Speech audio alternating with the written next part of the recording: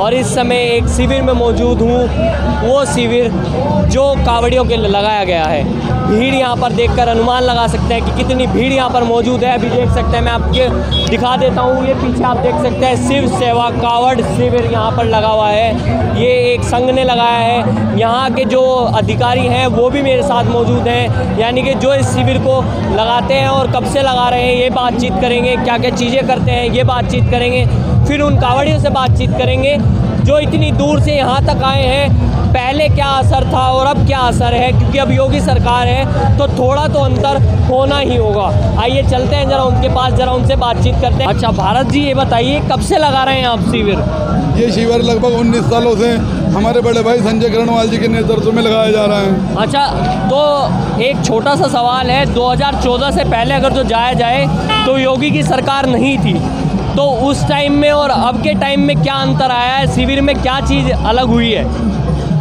अंतर तो वैसे तो भोले, हमारे भोलों की संख्या बढ़ी है एक तो। सबसे बड़ा अंतर तो यही आया है। लेकिन 2014 से पहले की अगर हम बात करें तो 2014 से पहले के जो इंतज़ाम थे, जो रास्ते के इंतज़ाम थे, उनमें इतना इम्प्रूवमेंट नहीं था। उसमें बहुत ही इम्प्रूवमेंट हुआ है। जैसे कि आप देख रहे हैं कि जगह जगह जो सड़क पे डिवाइडर हैं पूरे के पूरे डिवाइडर कवर कर दिए गए हैं जिससे कि कोई भी आदमी इधर से उधर न जाए। भोलों को आने जाने में कोई परेशानी ना हो। अच्छा पहले इतनी मजबूती नहीं थी जितनी अब मजबूती हो गई। इतनी मजबूती नहीं थी जितनी आज की समय में मजबूती है। अच्छा क्या क्या चीज़ें ऐसी होती होंगी जो आप कावड़ियों के यहाँ पे आने के बाद उनको सुविधा प्रदान करते होंगे? क्या क्या चीज़ें ऐसी मेन है जो आपको करनी पड़ती हैं? कांवड़ियों के लिए तो सबसे पहले तो हम आराम का ध्यान रखते हैं। और भोजन का ध्यान रखते हैं, उनके लिए दवाइयों का ध्यान रखते हैं। उन्हें अच्छे से अच्छी चीज़ें, अच्छी से अच्छी क्वालिटी की चीज़ें और ज़्यादा से ज़्यादा आइटम उन्हें प्रोवाइड हम करा सकें। हमारी ये कोशिश रहती है हमेशा।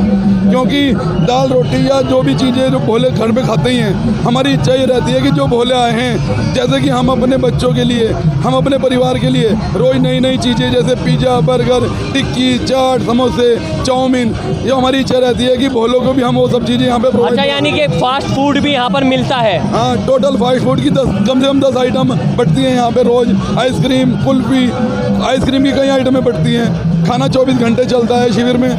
भोला रात को अगर दो बजे भी आएँगे तो उन्हें खाना मिलेगा। तो देख लिया आपने इन्होंने बताया कि जो चीज़ें थी वो यहाँ पर मिलती हैं, जो आदमी अपने घर पर खाता है, वो यहाँ पर बोलों को प्रदान होती हैं। क्योंकि 2014 से पहले की बात की गई तो इन्होंने बताया कि 2014 में इतना ज़्यादा ज़ोर नहीं था, जो अब योगी की सरकार में ज़ोर है। अब कावड़ियों से बातचीत करेंगे, जो वो इतनी दूर से आए हैं उन्होंने उन्हें बीच में क्या क्या चीज़ें मिली क्या क्या चीज़ें नहीं मिली क्या क्या दिक्कतें हुई क्या क्या दिक्कतें नहीं हुई, वही बातचीत करेंगे। हाँ बोले, कहाँ से आए हो? सहारनपुर से। अच्छा कहाँ से नीलकंठ से आ रहे हो या हरिद्वार से? नीलकंठ से रहे नीलकंठ से। अच्छा पहले भी जाते थे कभी या अभी गए हो पहली बार? भी जाते थे। पहले भी जाते थे। पहले में और अब में कितना अंतर आ गया? बहुत अंतर आ गया। बहुत अंतर आया है। बीच में कोई दिक्कत होती है? नहीं कोई दिक्कत नहीं। नहीं होती। अच्छा भाई आप बताओ कब से जा रहे हो? कावड़ में। छः साल से। छः साल से। तो यानी कि 2014 से पहले भी गए थे आप। अच्छा तो 2014 से पहले क्या इतनी सारी व्यवस्थाएँ थी या नहीं थी। नहीं थी। अब हुई है? हाँ जी। योगी जी ने कुछ करवाया कावड़ियों के लिए? हाँ बहुत कुछ करा दिया। ये बताओ कब से जा रहे हो कावड़ में? नौ साल नौ साल से। अच्छा अखिलेश सरकार में देखा था कुछ क्या होता था कावड़ियों के लिए? अब 2019 में आ जाए तो अब क्या होता है? योगी सरकार जब आई। ये अब सही हो रहा है। अच्छा। योगी राज में बहुत मज़ा आ रहा है। बहुत मज़ा आ रहा है ये इन्होंने सही कराया है योगी राज ने चलवाए हैं लेकिन इसमें भक्ति गाने कहे गए हैं ठीक है? इसमें भक्ति गाने भी चल रहे हैं इसमें कोई दिक्कत नहीं है कोई दंगा फसाड़ नहीं सब सही। सब सही हो गया। हाँ जी आप क्या कहना चाहोगे? अजी बहुत मज़ा आ रहा। बहुत मज़ा आ गया। पाँच साल पहले कुछ भी मज़ा नहीं आया था। अच्छा। बहुत ज़्यादा मज़ा आ रहा। बहुत मज़ा आता है। अब पहले तो नहीं था कुछ भी ऐसा। पहले बिल्कुल भी नहीं था बहुत बढ़िया। अच्छा जैसे आप यहाँ पर रुके हुए हैं तो खाने की जो व्यवस्था है वो कैसी लगी बीच खाना तो बहुत टेस्टी है और शिविर इतने अच्छे अच्छे लगे हैं। बोला भगवान उनकी वो करे मनोकामनाएँ पूरी करे अच्छा आप क्या कहोगे जी? बोले गोमुख से आए हैं। अच्छा गोमुख से आए हो इतनी दूर से कैसे आए हो? पैदल या कैसे? बाइक पे बाइक पे बोले। अच्छा बाइक पे आए हो। तो बीच में कैसी व्यवस्था है? सड़कों की थोड़ी खस्ता हालत पता लगी मुझे। बोले बहुत अच्छा है सब बोले ने योगी अब बढ़िया हो गई सब? बढ़िया हो गया है। अच्छा ऐसा भी है कि जैसे उत्तर प्रदेश में आए तो ही अच्छी व्यवस्था दिखी या पहले आगे भी है कभी नहीं थी पहले कभी नहीं थी। पहले कभी नहीं पहले कभी नहीं थी। जैसे गोमुख तक गए हो तो वहाँ पर भी व्यवस्थाएँ बढ़िया थी या नहीं? है सारी व्यवस्था बढ़िया व्यवस्था व्यवस्था है तो देख लिया ये हमारे साथ थे कावड़ी इन्होंने भी बताया सारी व्यवस्थाएँ बढ़िया थी। और अब आपको मैं थोड़ा सा खाने की तरफ़ लेकर चलता हूँ कि खाना कैसा होगा, वो भी देखकर थोड़ा सा अनुमान लगा लें। खाने की व्यवस्था अभी भी बिल्कुल सही है।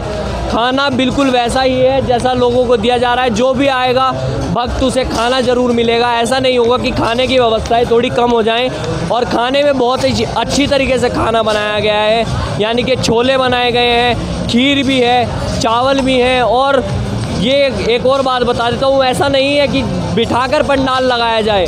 यहाँ पर आपको बता देता हूँ कि प्लेट्स हैं चम्मच हैं सेवादार जो हैं उनसे भी ज़रा बातचीत कर लेते हैं। हाँ जी कब से कर रहे हैं आप सेवा? पच्चीस तीस साल हो गए।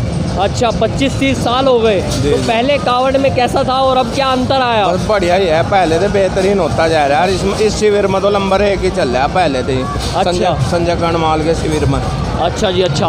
तो इन्होंने बताया, पहले से ही अच्छा चल रहा है। यहाँ पर पूरी व्यवस्थाएँ हैं। ऐसा नहीं है कि केवल आदमी ही सेवा में लगे हुए हैं। लेडीज़ भी यहाँ पर सेवा कर रही हैं। बच्चे हैं, बूढ़े हैं, जो भी अपना है, वो सेवा कर सकता है। व्यवस्थाएँ बहुत अच्छी हैं। अभी भी खाने की व्यवस्था आप देख सकते हैं। अभी भी खाना लगाया जा रहा है। जो कावड़ शिविर आ रहे हैं, कावड़िए जो चलकर आ रहे हैं, उनके लिए अभी भी यहाँ पर खाने की व्यवस्थाएँ अच्छी चल रही हैं। अब इस खबर में फ़िलहाल इतना ही। ये खबर आपको कैसी लगी? इस खबर को लाइक कीजिए शेयर कीजिए और साथ ही हमारे चैनल को अभी सब्सक्राइब कर लीजिए। कैमरे के सामने सार्थक शर्मा और कैमरे के पीछे मेरे प्रिय मित्र सागर।